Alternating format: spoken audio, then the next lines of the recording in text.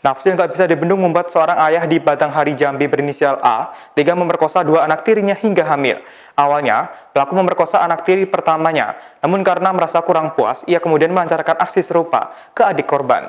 Dilansir oleh Tribun Jambi, Kapolres Batanghari AKBP Dwi Mulyanto mengatakan pelaku menyetubuhi anak tiri pertamanya dari September 2019 hingga April 2020 sampai korban hamil.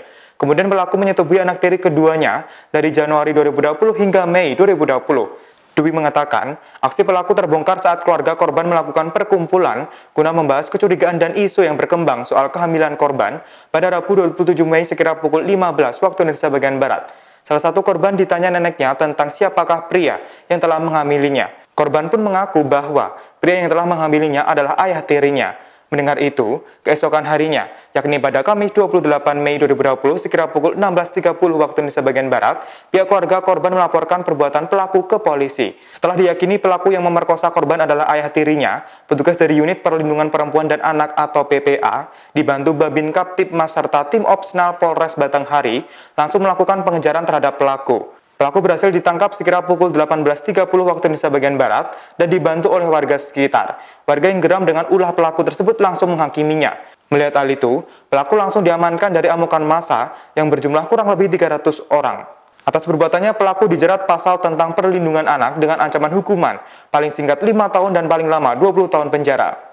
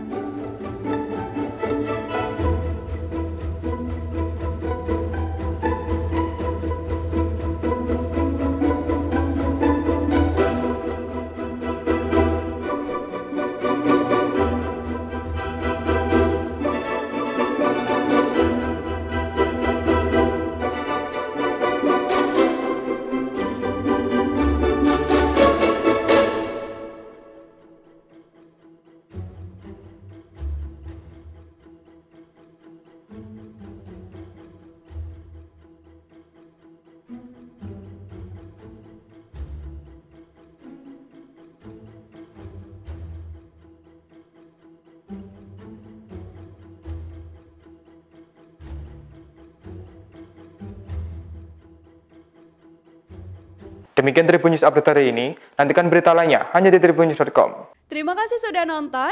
Jangan lupa like, subscribe, dan share ya.